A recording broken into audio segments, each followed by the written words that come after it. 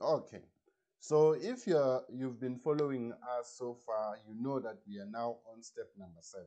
Okay. Uh, let's check the instructions. Okay. The instruction reads as follows.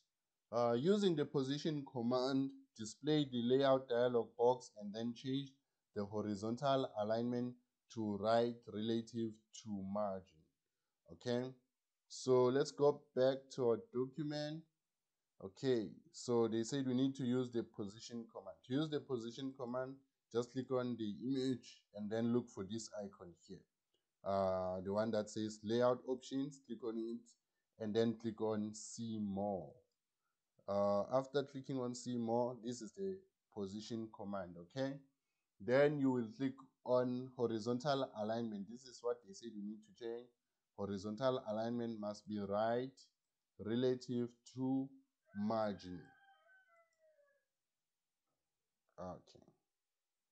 Mm, then after clicking on margin uh, you click on ok then you basically done with step number seven. Okay.